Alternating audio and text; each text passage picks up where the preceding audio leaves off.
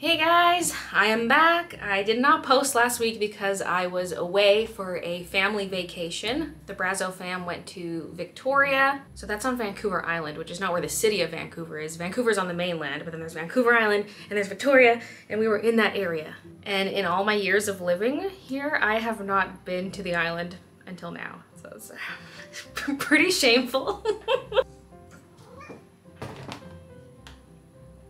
oh, really? So instead of doing this video as like the start of the studio vlog, I'm gonna do it as a separate haul video just because it's kind of long. So this is just a haul and I'll have my usual studio vlog on Friday. So I've got a, a big ticket item out front here to show you first, which is this. It was our last day there and I wanted to hit up Antique Row because there were some antique shops and I was hoping more of them had actual furniture. There really only was one that did and then there was a second one that did but they were closed. Like not just closed that day but it, you know Google Maps says closed temporarily. And I looked in the window and I saw these chairs I loved but there were even two staff members in the back and I was like let me in. so yeah I have this pitcher, this wine jug, whatever you want to call it. It's from the mid 1800s it's unglazed porcelain and it features little cherubs and grapes. That's why I'm assuming they used it for wine. It's also got some dark staining on the inside. You probably can't really tell. It just looks dark in there because it's the inside. And it's a little dirty, especially around the handle right now. I do need to give it a clean, but it's just so gorgeous. I saw this and I just couldn't stop thinking about it. And so that was my antique find for the day. the brand name is hard to see, but if you just turn on your phone flashlight and hold it at an angle, like not straight down, but just like at, a, at the side angle, you can see it says Copeland. So I was trying to do some research on this thing, but I really cannot find much about it. Except that it's from the 1850s. I found like three pictures of it and two of them are from the same website and that's all I can find. But isn't that gorgeous? Such a gorgeous decorative piece. Oh, I should wait till I'm in the new house before I start buying stuff for it, but I was really hoping to find a chair or small table because we did drive to the island and so I could bring something back in my car, but that was the biggest thing I found that I wanted. There are a couple other little things. It's in one of these paper bundles. Oh, this is not it. Wait, where is it then? It better not have gotten thrown away. You know, it just looks like a little bundle of tissue. There's a little plate and a little shoe, little Limoges miniatures. Well, I guess I was for the antique stores then. The very first thing I bought on the trip was this, which I got at a Thrifty Foods. Little succulent baby. And it's grown since I've gotten it. I still need to put it in a pot, but... Please don't die. Well, in one of these rolled up papers, I have a couple little thimbles. These are just touristy items. You can find them at tons of tourist shops. They're covered in stickers right now. Oh my god, I'm like sweaty. I was freezing cold earlier, so I changed my outfit to be one that has a sweater. So I was like t-shirt and long skirt earlier. Now I'm all sweaty. Okay, yeah, but they're they're just uh, little Victoria souvenirs. Yeah. and this one still has some sticker on it, but that's what this one looks like.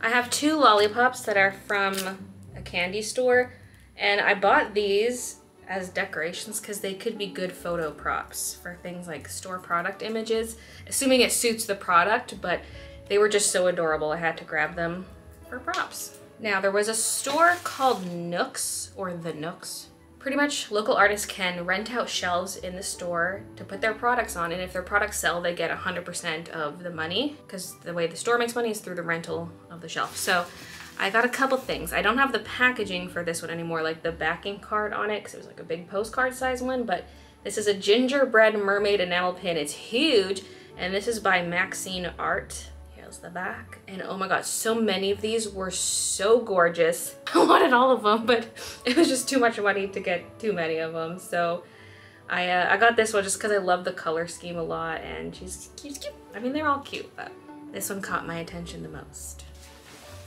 no, no, no, I found them, I found them, I found them. Oh my god, okay. I didn't know they were in this box because this box was in this box, but I moved the minis into here. Oh, Crisis averted. Okay, so yeah, there are these little Limoges minis. So there's this little shoe. This is the one I wanted the most, but they were two for $10, so I was like, well, let's get a second one. So just adorable little shoe. And then this plate. And it's funny because we went to a different antique store after and they had this plate, but it was a bit bigger. It was like about this tall. And so I was like, hey, I just bought the mini version of that. It even has its own little stand and everything. It's so cute. So that could look cute as part of a display on a shelf. I don't know. They're, they're pretty small, but it's just too cute. Too cute. Now what's actually in this one is a gold chain. This was at a buy and sell. Oh, there's something else in there too. This is from a buy and sell gold place. It was technically part of the antique row, but I've been wanting a longer gold chain because I recently got one that is, I think, a 16 inch chain that I can put pendants on. And I wanted a longer one, so this is a 20 inch chain, and this is what it looks like. And it was a steal of a deal. Like, I spent less than half of what I did on the 16 inch chain, because I'm, I'm, like, I'm assuming everything in there secondhand, because it's like a buy and sell place. And so, steal of a deal. Here's the whole thing. Uh, so shiny. I wanted like a really dainty one, and this one looks all sparkly adorable. Kiki's looking at it. No, it's not a toy. And it was perfect because I have this cheap tarnish chain that this is essentially replacing. And I was wearing that chain that day so I could get it measured and figure it out. Now this next one, it was in the Bay Center, which is a mall. And after seeing all the cool shops in downtown Victoria, I was like, do I want to go to a regular mall? But I thought maybe they have a cool store in there. And they did. They had another one with like a bunch of local artist stuff in it. And so I got this, it's by T Tree Drops. Handmade in Tofino, it says May Shapiro on the bottom. And so it's a little piece of wood, a little cross section of a branch or small tree. And then they have flattened plants inside of it. And then it's covered in what I assume is resin. Isn't that adorable? Just some cottage core too, so eh, yeah, that was that. I picked that one up. I have, oh, Kiki's kind of on it. Sorry, baby. I have this sweater which I got from Style Coast in Sidney. So it's a it's a sweater, but it has a cowl neck, which is really cool. And it's a very thin fabric. I love thin sweaters. So it was just nice. Very, very nice. I love it all around.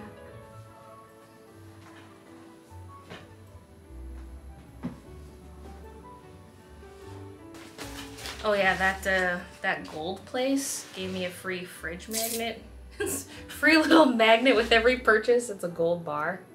I peeled off the sticker on the side that had their info on it and now it's all grimy. So, whoop. I'll have to clean that off. So in Sidney, there was this store called The Haunted Bookshop. And as soon as I saw it, I was like, ooh, we're going in there. And that's probably the store I spent the longest time in. And I barely got to see anything in the store. Like, I could easily have spent a full extra hour there. We weren't, we weren't there for an hour, but like, oh, so many interesting books, like old books or just weird ones about like ghosts, witches, vampires. There's, there's all kinds of stuff. And they had a kids book section. And so I picked up some Beatrix Potter books. I've never read any of these and I've never been a big fan of hers, but as I've gotten into cottagecore stuff, it's like, she's like the cottagecore illustrator. So I figured I'd pick up some of these. These are not particularly special editions of the book because these were printed in the late 80s. But they're just so cute. This one's in rough shape, but it's Peter Rabbit. It's the first one. It's the most iconic one, so I had to grab it. It was $3, so whatever, but look at this. Cute. Look at these illustrations. Adorable. So I got Peter Rabbit, Tom Kitten, Flopsy Bunnies, Timmy Tiptoes, and then the Tailor of Gloucester? I don't know how to say that. Please forgive me. Please forgive me. This one's a soft cover just because they didn't have this one as a hard cover. Look at those. Aw. So cute. so had to grab those. And then I got another book there, which I've never heard of. Did it have this white thing on there or did I get that on there? It's The Egoist by George Meredith. I grabbed it because I saw the spine and thought that looked so cute. Like, look at this. Look at this, look at this, look at this. The actual book color is this, so the spine must have faded, although I kind of like the faded color better. That pea green color. It's just such a beautiful book though. It would be a good decoration or good for a prop for photos again. Don't focus on my face. Look at this. And the spine, so pretty.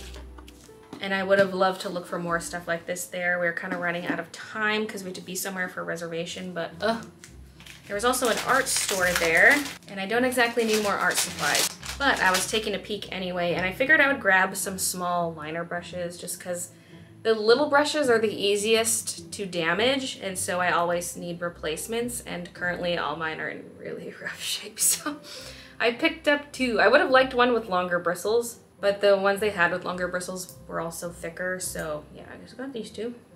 Is that everything? I mean, we bought something for Peter since he was cat sitting, but I don't know if I want to spoil what it is on here. I mean, he's probably not watching. You know what, let me just go get it.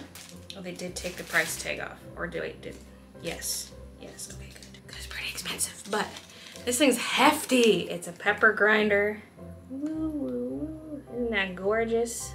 Peter really likes to cook. He probably already has some kind of fancy pepper grinder, but this one's just really cool. Oh Boom.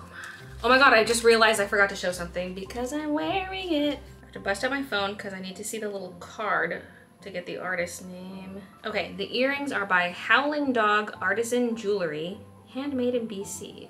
I can insert a picture, but I'll also try to show you IRL.